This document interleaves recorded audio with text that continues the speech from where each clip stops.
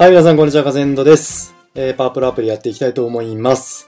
えー、全国原春野球大会、地区大会の方ですか。あと6時間になっております。えー、私のですね、今の順位。これがですね、現在6位で全国大会出場圏外となっております。まずいということで、やっていきたいんですが、まずね、私のランキングを見ていきます。グループランキングでございます。えー、昨日のね、動画でもお伝えしたように、かなり熾烈なグループに入ってしまってですね、えー、1位の方、この方はもう飛び抜けて1位。うん。あのーその中で2位から5位が、まあ割とね、えー、割と、まあ2位、3位ももう結構離れちゃったな。私がですね、今6位で、えー、1、10、100、千万、10万、100万、1000万、1億、2億1000万ポイントで、3000万ポイント差で、えー、今負けているという形でございます。で、4位の方が、まあ、おそらくその倍ぐらいある。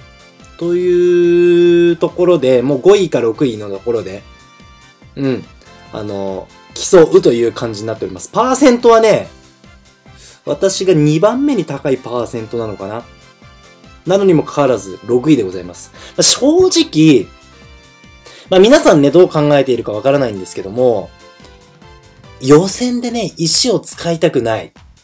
うん。予選でちょっと使いたくない。まあ報酬内容とかもいろいろ考える中で、使いたくない。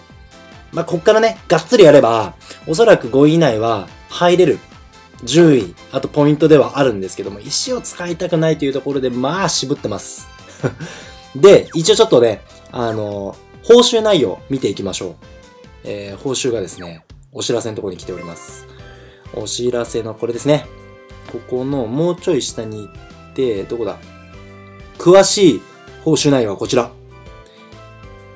で、今地区大会の報酬っていうことよりも、この後、全国大会に行った時と、スター発掘大会の報酬リストがまた違うんですよ。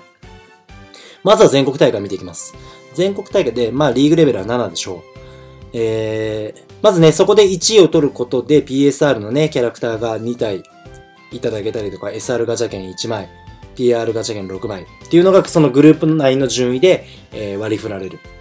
ただですね、おそらく全国大会に行った時の1位を狙うっていうのも相当大変なね、えー感じになっております。で、おそらく私の年末年始の予定を考えると、ここで1位取ることは無理です。うん。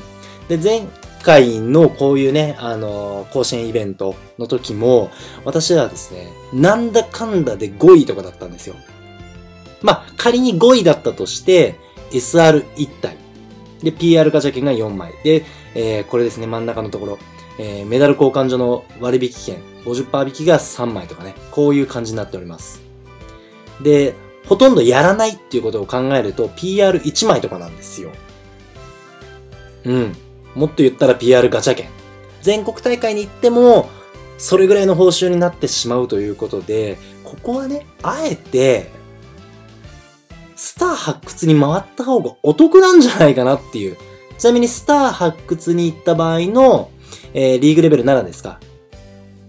の1位だと SR1 枚なんですよ。まあ、ここもね、ちょっと私、あの、スター発掘回ったことないんで、どのぐらいで立ち回れるかわからないんですけど、まあ、パーセントがね、1200%あるということを考えると、割と上位には狙いやすいのかなと思います。で、3位以内に入れば、SR1 体いただけるんですよ。うん。あとはね、メダル交換所50%割引券とかいただけるんですよ。